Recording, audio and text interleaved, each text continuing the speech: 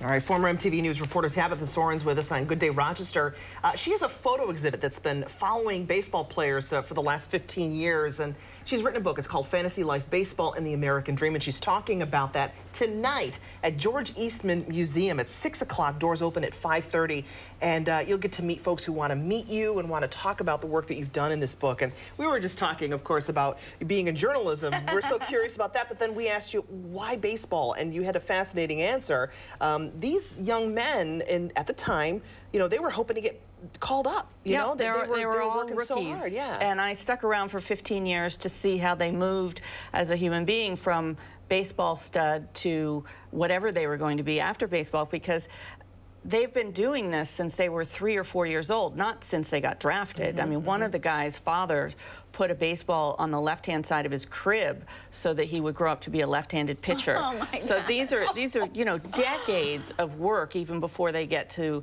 the minor leagues and.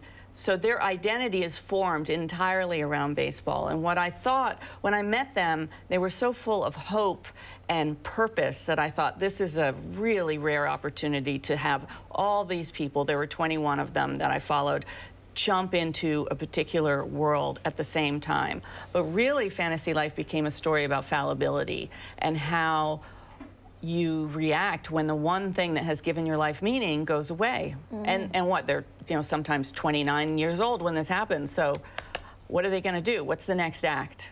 So and because I was emerging in my own second act, I think that's why I related to it as well. Although I didn't think of that until I was done. yeah, and you're like, oh, I'm a photographer. Yeah, no, so for the mom or dad out there who, you know, has a, you know, a child who is obsessed with baseball and wants to grow up and lead this major league life, and, you know, as we know, often it doesn't turn out, what is the long run outlook for a lot of these players? Well, Where do they I find would themselves say, now? I would say that 6%, that's the number you need to know. 6% of the people who are drafted, not who play in college, not who are the stars of their high school team, who are drafted into professional baseball, make it to the majors. Wow. So that's the number parents should keep in their heads. Because when I asked Brian Stavisky's parents in Rochester when he was working here post-baseball, I said, did you know the odds were that slim?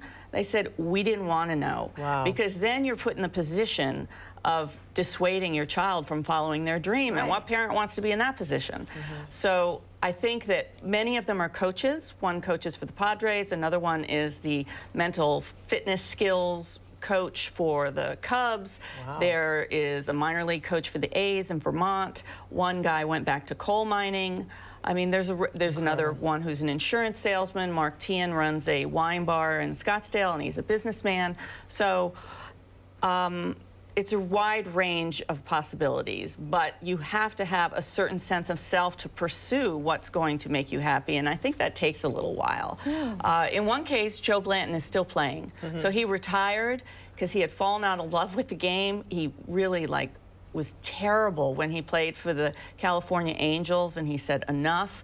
And then someone moved in next door, a catcher who needed Joe to throw to him just for practice, yeah. and he started just playing catch again and he thought, he rediscovered his childhood love for the game, got a tryout with the Pirates, ended up going to the World Series that year with the no. Kansas City Royals. No way. Then played his best season yet last year with the Los Angeles Dodgers. Unbelievable. And now he's on the Washington Nationals. Oh my God! So, what a you know, I, okay, that trajectory is, is like it's what? resilience. Oh. It's incredible. But I think the idea is that it's it became less work and more fun for him. Mm-hmm. That's mm -hmm. what triggered his ability to succeed. Yeah. Mm -hmm. uh, it's fascin It's been fascinating just talking to you um, uh, about your love for photography, for your now love for baseball. And I don't really people... love baseball yeah. yet, but really? I love I love, love the, the idea of pursuing something that people say is out of reach and, and striving for greatness. I think that's compelling. What's next real quick before we go?